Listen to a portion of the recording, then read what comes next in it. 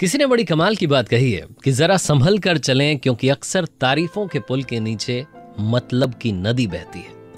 माई F से मैं हूँ आरजे कार्तिक, लेकर आया हूँ आपके लिए एक छोटी सी कहानी। एक बार एक राज्य में, जहाँ बड़ी खुशहाली थी, उसके राजा के बारे में दूर दूर तक चर्चा की जाती थी, दूसरे राज्य के राजा उससे सीखना चाहते थे, इतना कमाल का राजा वहाँ रहता था। और उस राजा के बारे में लोग ये कहते थे कि इससे जब भी आप मिलोगे, जो भी बात आप कहोगे आपको सोल्यूशन मिलेगा। वो राजा एक बार देखने के लिए कि वाकई में क्या प्रजा खुश है, क्या वाकई में जनता में खुशहाली है, वो अपने सेनापति के साथ, सैनिकों के साथ घूमने के लिए निकला। उसके पास जो भी आ रहा था, कोई शिकायत कर रहा था, कोई तारीफ़ कर रहा था, कोई अच्छी बात कर रहा था, कोई बुरी बात कर रहा था, कोई सुझाव दे रहा था, जो भी इंसान आ रहा था, राजा हर इंसान को कुछ ना कुछ दे रहा था। किसी को अशरफी दे रहा था, किसी को सोने का सिक्का, चांदी का सिक्का, कुल मिलाकर के वो हर इंसान को कुछ ना कुछ दे रहा था, इतने अच्छे मूड में था। तभी उसने देखा कि उसके राज्य में एक दुखी इंसान था। उसके राज्य में दूर कहीं जब वो देख रहा था तो एक भिखारी बैठा था। उसने अपने सैनिकों को भेजा, भिखारी को बुलाया। राजा ने सोचा कि क्यों ना इसको एक सोने का सिक्का देते हैं। ये मेहनत करेगा, कुछ ना कुछ करेगा, इसकी ज़िंदगी ठीक हो जाएगी।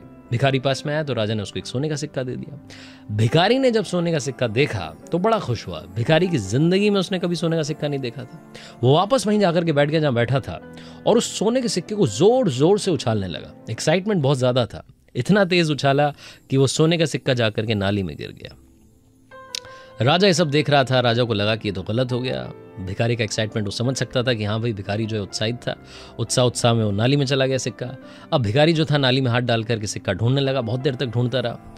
राजा इस बीच में लोगों से बात करता रहा। राजा को लगा कि क्यों ना एक बार फिर से बुलाया जाए और एक और सोने का सिक्का दिया जाए। सेनापति को भेजा, आपकी बार उसको बुलाया, भिखारी को एक और सोने का सिक्का दिया। भिखारी गया, सोने का सिक्का उस, अब की बार उसने अपनी जो कुर्ता फटा सा था उसकी जेब में रख लिया। और फिर से वो नाली में सिक्का जो गिर गया था पहले, उसे ढूँढने लग गया। राजा फिर से ये सब देख रहा था। राजा को लगा कि शायद हो सकता है एक सिक्के से बात नहीं बनेगी, इसको शायद दो सिक्के चाहिए।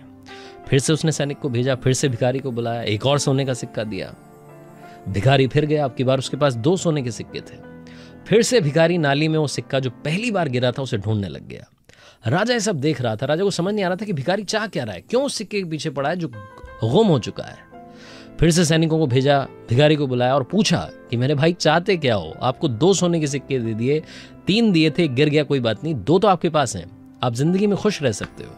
भिखारी ने कहा, नहीं साहब, मैं तो तभी खुश होऊँगा जब मुझे वो वाला सिक्का जो नाली में गिर गया था वो मिलेगा। ये कहानी आपकी और हमारी है। मैं सबकी बात नहीं कर रहा, लेकिन कुछ लोग इस दुनिया में इस बात से दुखी हैं कि वो नाली में जो सिक्का गिर गया था, वो मिल क्यों नहीं रहा है? जबकि ऊपर वाले ने उन्हें बहुत सारी खुशियाँ दे दी हैं और बहुत सारी खुशियाँ आने वाली हैं। बीते कल में अटके रहेंगे तो आने वाला कल कभी भी अच्छा नहीं हो सकता। इस बात को याद रखिए। इसीलिए आरजे कार्तिक आपसे कहता है, जो पास्ट में हुआ उसे भूल जाइए और फ्यूचर की तैयारी कीजिए। कर दिखाओ कुछ ऐसा कि दुनिया करना चाहे आपके जैसा। याद रखिए, अगर आप कुछ अच्छा सुन रहे हैं तो आप माई सुन रहे हैं। हर सोमवार सुबह साढ़े बजे मेरे पेज पर एक नई कहानी। चलो आज कुछ अच्छा सुनते हैं।